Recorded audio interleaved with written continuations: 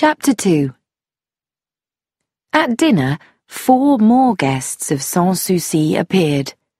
A middle-aged couple, Mr. and Mrs. Cayley, and a young mother, Mrs. Sproat, who had come with her baby girl from London. She was placed next to Tommy and asked, Do you think it's safe now in London? Everyone seems to be going back. Before Tommy could reply, Miss Minton spoke up. You must not risk going back. Think of your sweet little Betty. You know they say that the blitzkrieg on England is coming soon, and a new type of poisonous gas, I believe.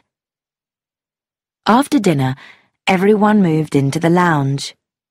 The women started knitting again and Tommy had to listen to an extremely boring account of Major Bletchley's experiences in India.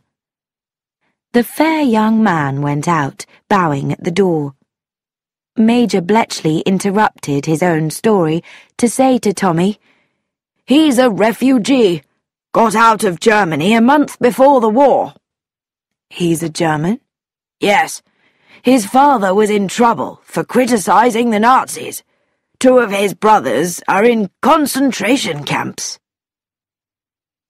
The following morning, Tommy rose early and walked down to the seafront. He saw a familiar figure coming in the other direction. Tommy raised his hat. Good morning, he said pleasantly. Mrs. Blenkinsop, is it not? How did you get here?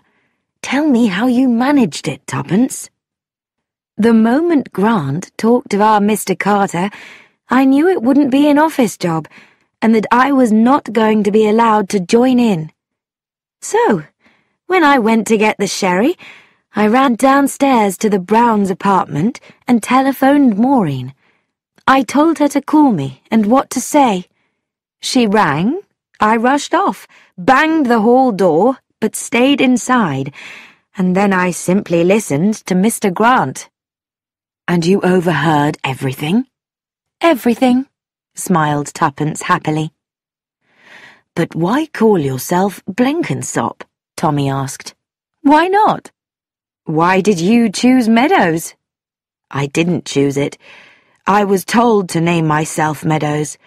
Mr. Meadows has a respectable past, which I have learnt. Very nice, said Tuppence. Are you married? My wife died ten years ago in Singapore. Why in Singapore? We've all got to die somewhere. What's wrong with Singapore? Oh, nothing. It's probably a most suitable place to die. I'm a widow, not very intelligent, and I sometimes say silly things. Where did your husband die? Probably at home. I suppose he died of too much alcohol.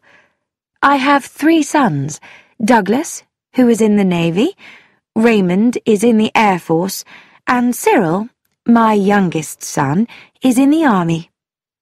Now, how are we going to cooperate? Tommy said thoughtfully. We mustn't be seen too much together. No, I think chasing is best. Chasing? I chase you. I've had two husbands, and I'm looking for a third. You are the hunted widower. Every now and then I catch you. Everyone laughs and thinks it's very funny.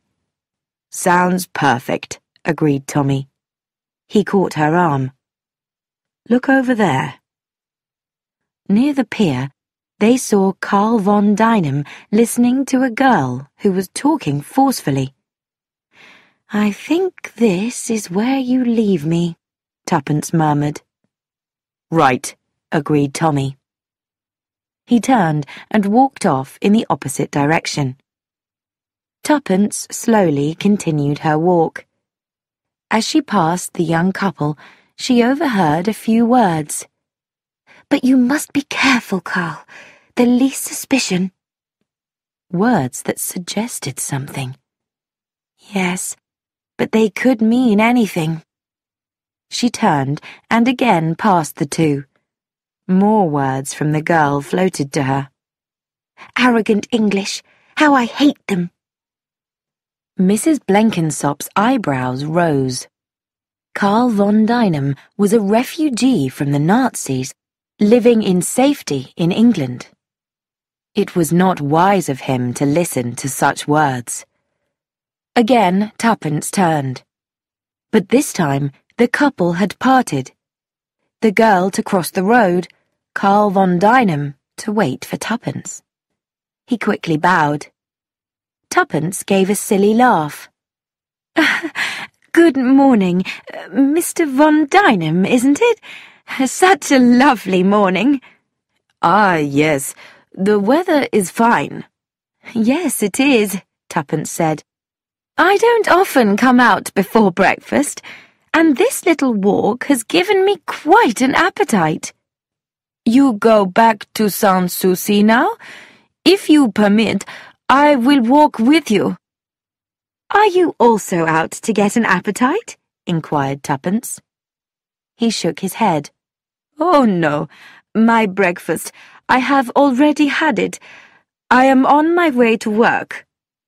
Work? I am a research chemist.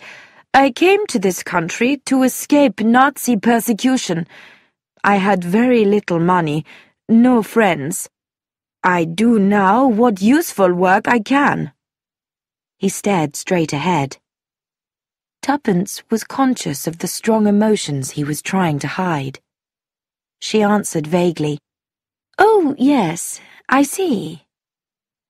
My two brothers are in concentration camps. My father died in one. My mother died of sadness and fear.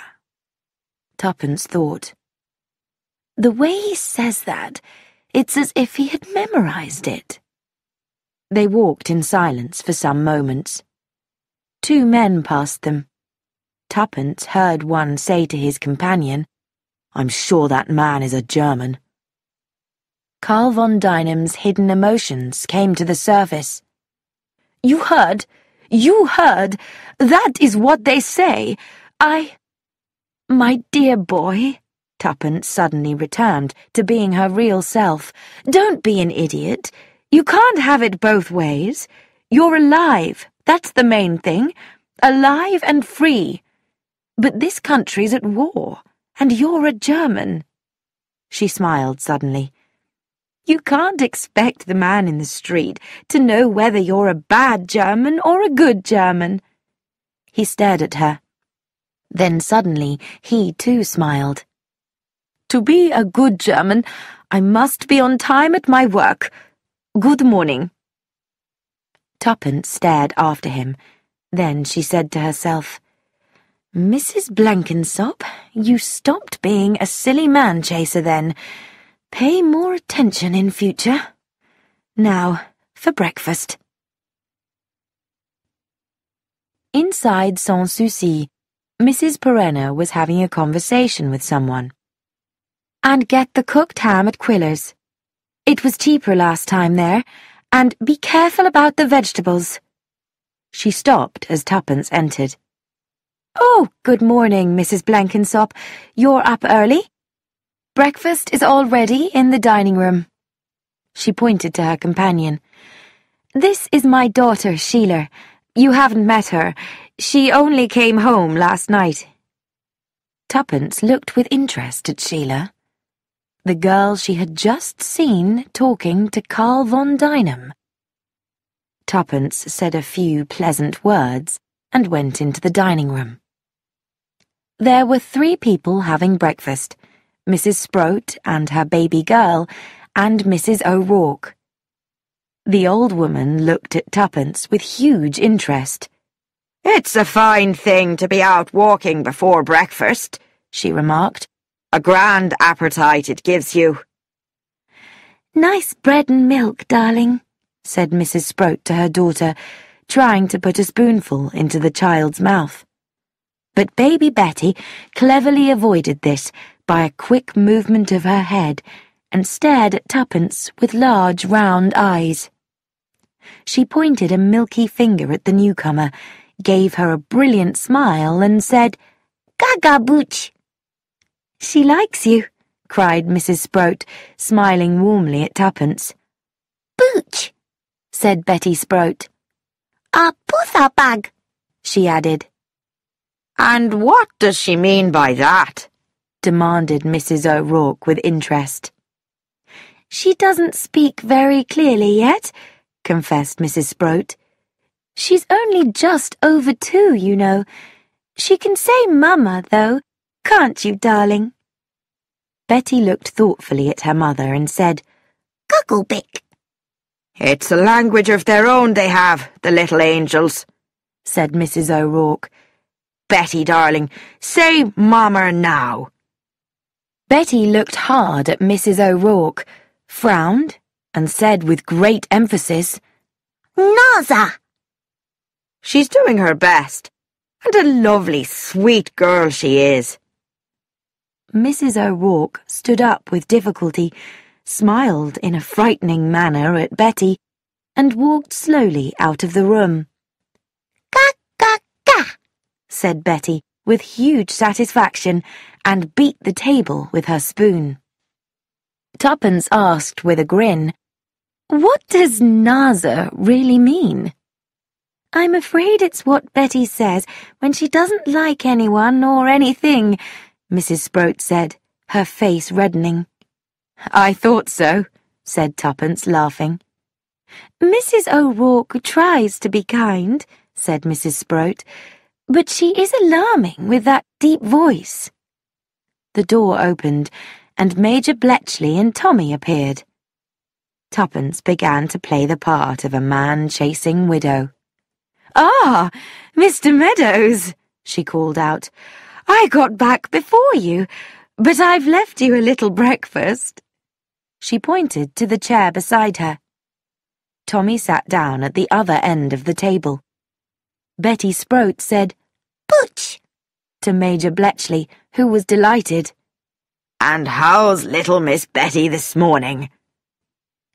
Tuppence, who was watching all of them, thought, There must be some mistake.